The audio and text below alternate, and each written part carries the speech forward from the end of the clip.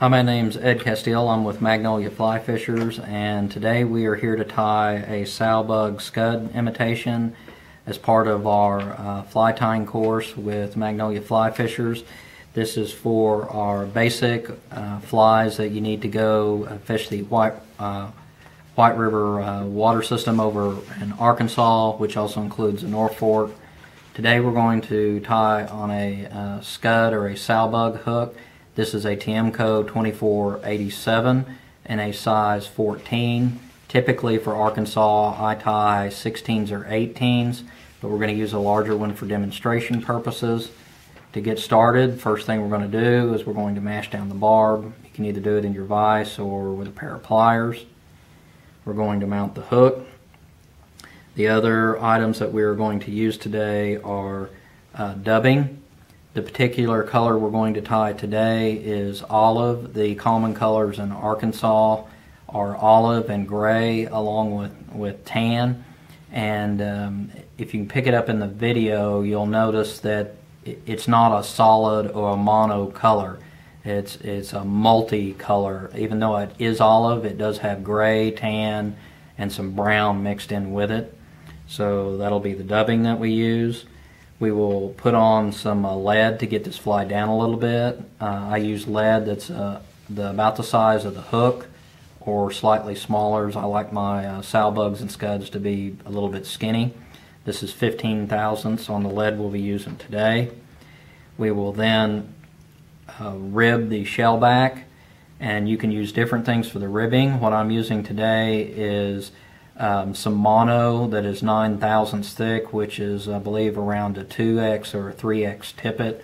This just happens to be some 4 pound mono that I'm using. Um, the Sowbugs are very translucent, so uh, I like to use things that give the appearance of uh, being translucent, which is why I use the mono. Uh, some people like to make the ribbing pronounced, uh, so they will use copper wire or some other color uh, like silver on a gray. This is the small uh, UTC wire. We will not be using that today, but I wanted you to see an option to the ribbing.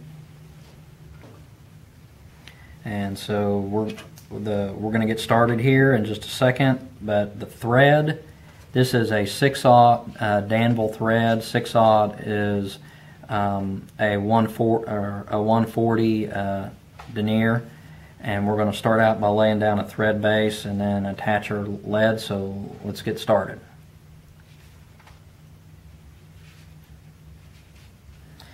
Now on this fly, a good thing a good thing about this fly is that uh, it's pretty forgiving in your tying skills as long as you do a few things accurately. On the thread base, you uh, just really need to get something laid down so that the lead will bite in uh, and doesn't slide around your uh, hook. I'm going to take the lead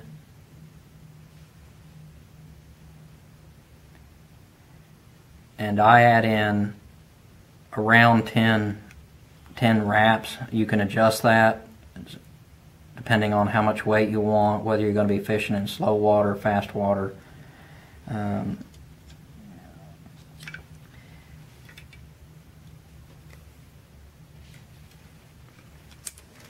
Once you get the lead on, notice that it's positioned in the middle and you got plenty of room up towards the front here to tie off a head later.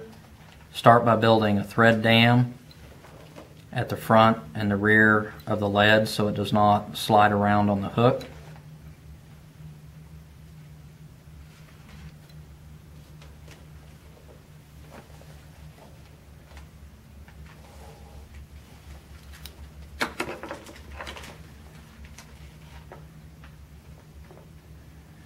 Okay, and then to lock this in a little bit, you can take a few wraps back and forth. Kind of lock it in. Whatever your preference or your patience is on how much thread you want to put on there, that's up to you. And we're going to let that hang there. Next thing we're going to do is tie in whatever your ribbing material is. Today we are going to use the uh, mono